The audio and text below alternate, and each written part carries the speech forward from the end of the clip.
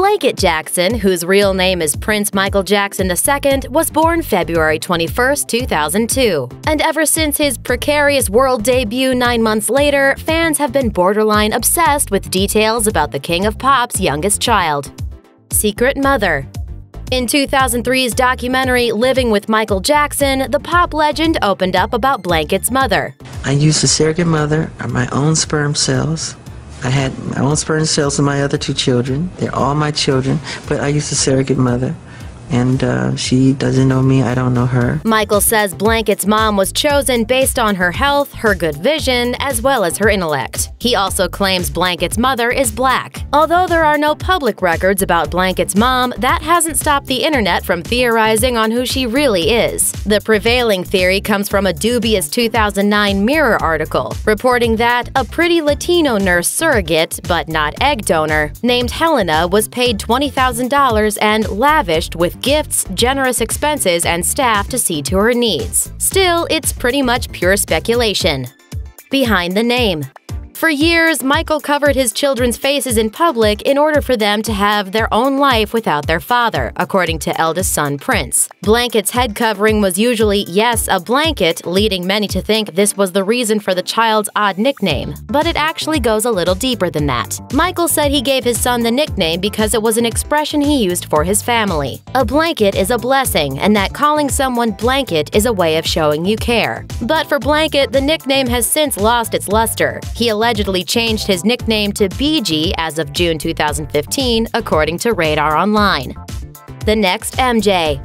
In a preview for the film Remembering Michael, Blanket's grandfather, Joe Jackson, talks about the striking similarities between his son and grandson. They also said there would never be another Michael Jackson. And I say we already have one, but he just has to be trained. In response to backlash over the possibility of Joe grooming Blanket or any of Michael's kids for potential music careers, a rep for the Jackson family told TMZ that producer Grandma Catherine Jackson hopes fans don't think anyone like Joe or the family is pushing the kids. Dance moves. During the few times Blanket has appeared in public, he certainly made a splash, such as the Michael Forever tribute concert in October 2011. But according to People, then nine year old Blanket's real performance took place backstage, where he was caught dancing and spinning, and it was like an exact Michael Jackson dance. Custody battles.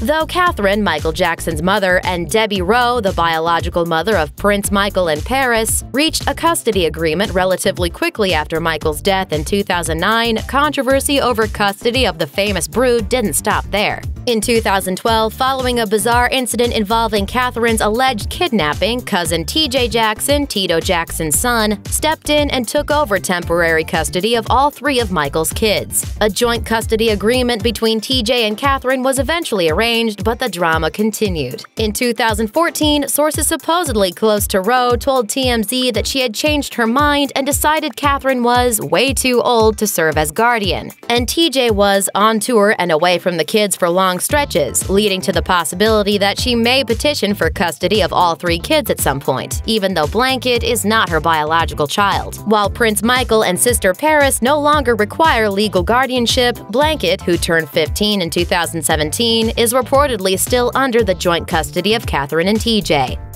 Living alone.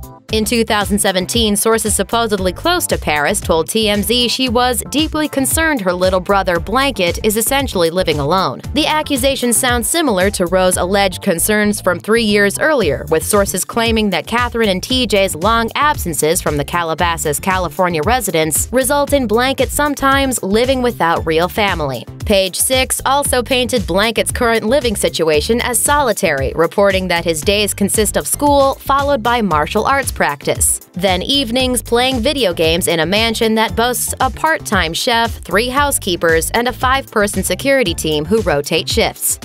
What's next?